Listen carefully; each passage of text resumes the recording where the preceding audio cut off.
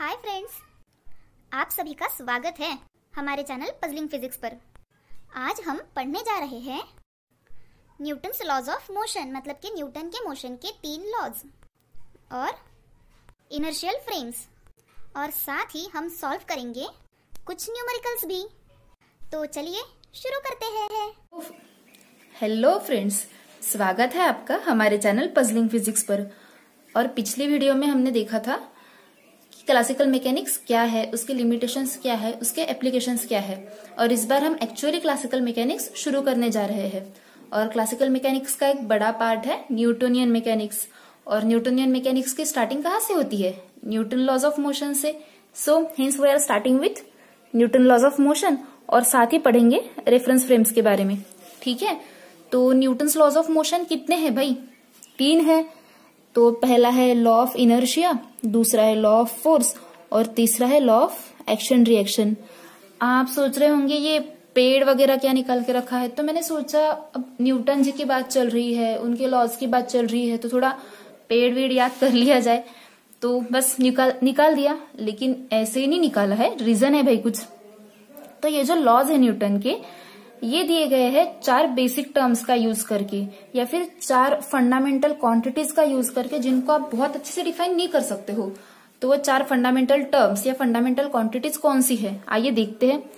वो चार fundamental quantities है स्पेस टाइम फोर्स और मास कौन सी है? स्पेस है टाइम है फोर्स है और मास है।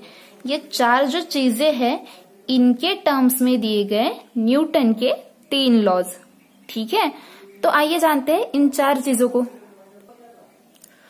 तो न्यूटन के जो लॉज बने हैं, जैसे मैंने अभी कहा है आपको कि इन चार के टर्म्स में बने हैं। तो सबसे पहले आता है स्पेस अब स्पेस क्या है? Space is one of the fundamental quantities obvious space एक फंडामेंटल क्वांटिटी है, जिसको पकड़ के हम लोग बहुत सारी चीज़ें बताते रहते हैं, बनाते रहते हैं। आगे आगे एग्जाम्पल्स में आपको समझ जाएगा मेरे इस सेंटेंस का मीनिंग ठीक है?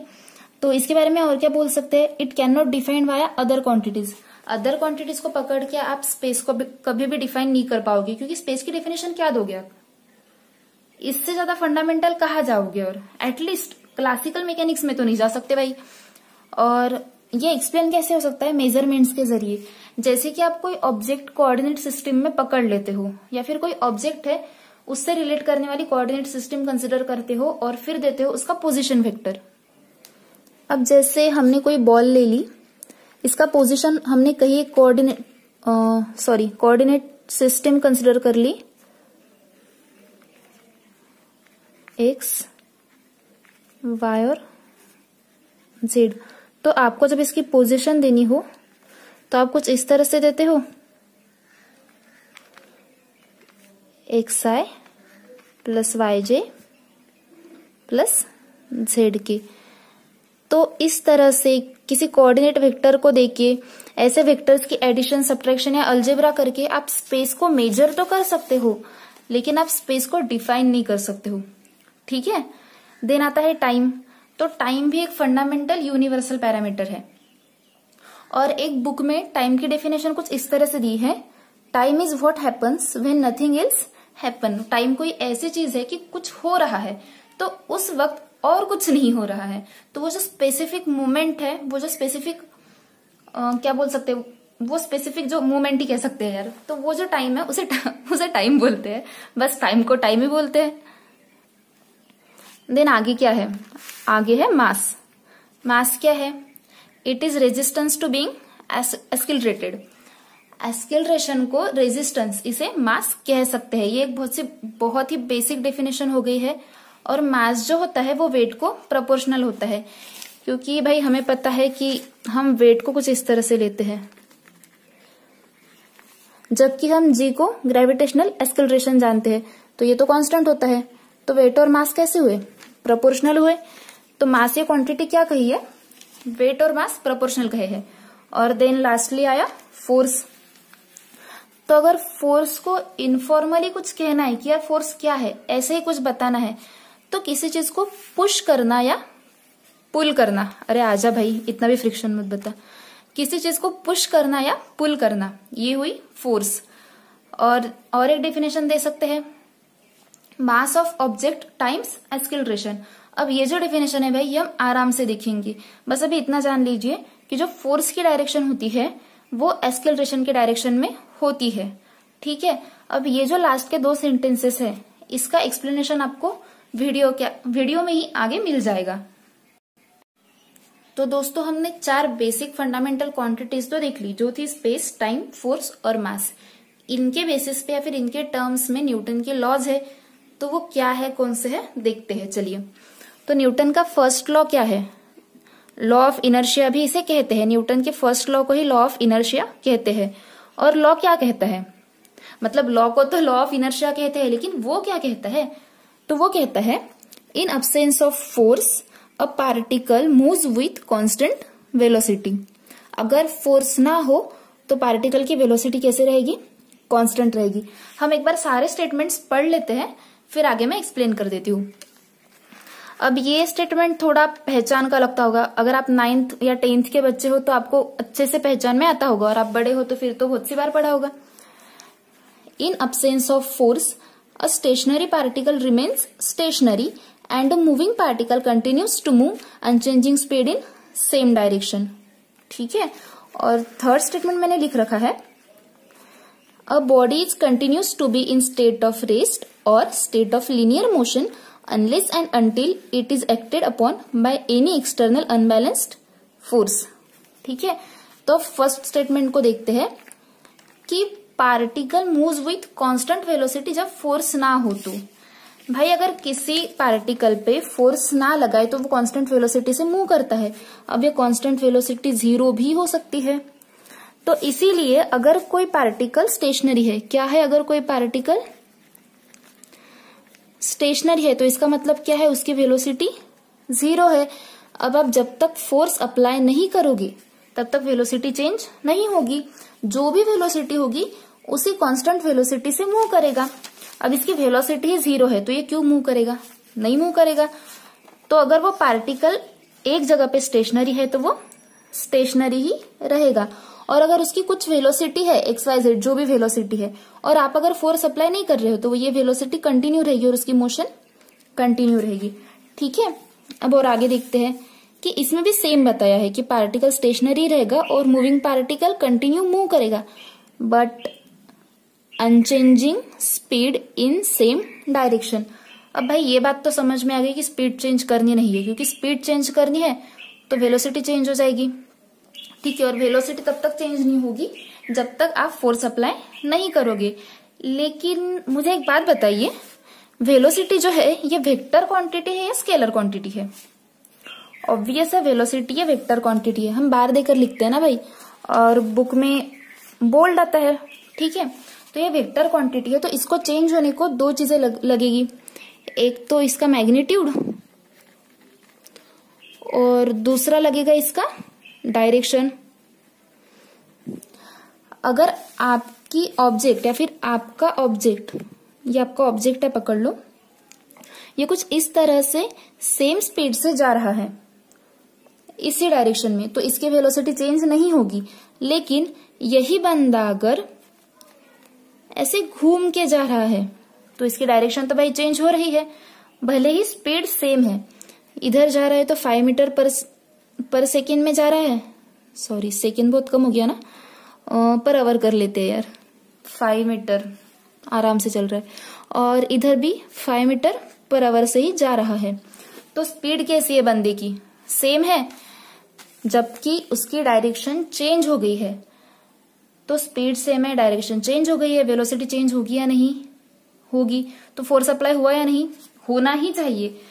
तो बोलना बस इतना है कि अगर फोर्स अप्लाई नहीं होता है तो डायरेक्शन भी चेंज नहीं होगी। वो लीनियर मोशन में, उसकी जैसी भी मोशन है, उसमें कंटिन्यू रहेगा। वो सर्कुलर मोशन कभी लेगा नहीं, वो डायरेक्शन चेंज करेगा नहीं। तो बस वही थर्ड स्टेटमेंट में है। ये मैंने अलग अलग जगह से लिए हुए तीन स्टेटमेंट्स है, जो कि बात को और क्लियर करते हैं, ठीक है? आइए अब समझते हैं सेकेंड लॉ को।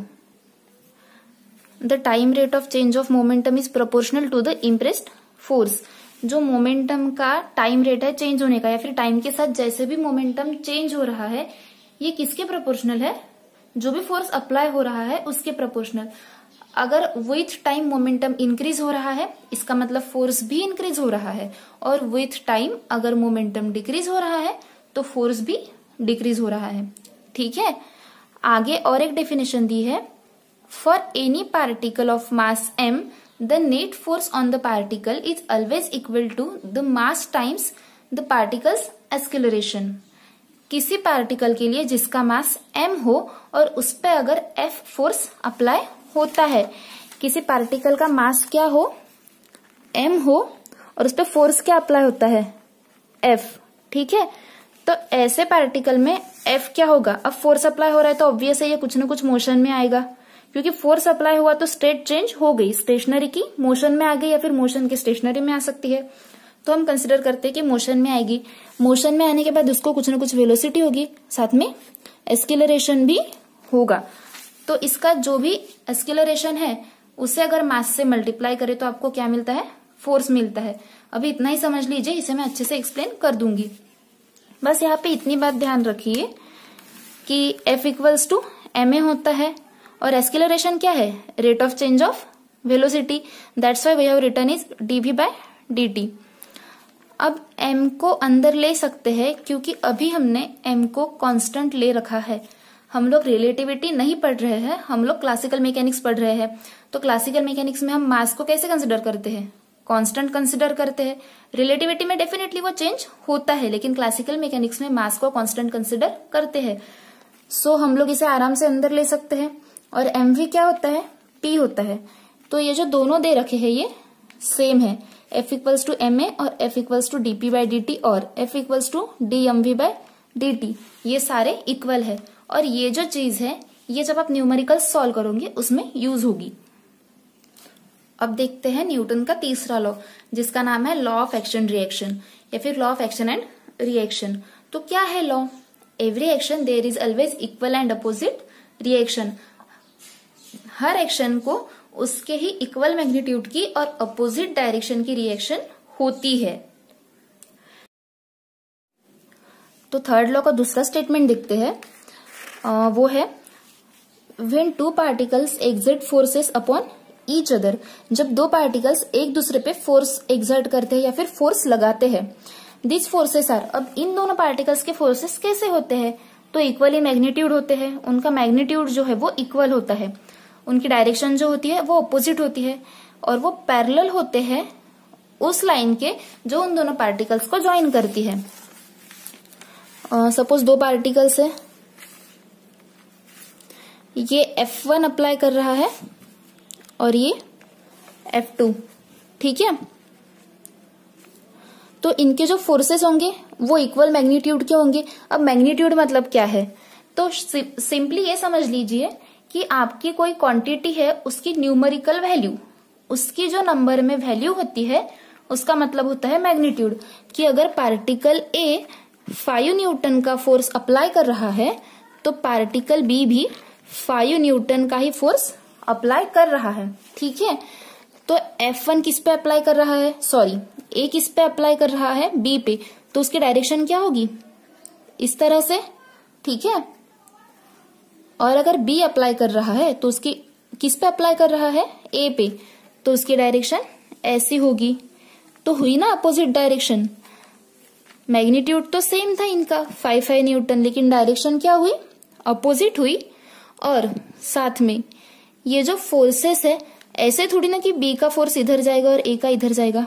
ना, वो आमने सामने खड़े तो इनका जो फोर्स है, वो इस लाइन में या फिर इस लाइन के पैरेलल एक्ट करेगा। मतलब कि उस लाइन के पैरेलल होगा, जो उन दोनों को जोड़ रही है। ठीक है? आगे देखते हैं। बस सिंपली और एक बार वही दिया है। If object one exert a force F two one on object two two पे वन के वजह से फोर्स लग रहा है। देन ऑब्जेक्ट टू ऑलवेज दूसरा ऑब्जेक्ट भी क्या करेगा? Exert a reaction force F of two one on object one given by F one two is equals to F two one अब इक्वल्स टू के बाद माइनस साइन इसलिए दिया है कि मैग्नीट्यूड से तो ये सेम है, लेकिन डायरेक्शन से ये अपोजिट है। और आपको जैसे कि पता है फोर्स ये वेक्टर क्वांटिटी है दैट्स वाई हमने ऊपर बार लिया है। ठीक है?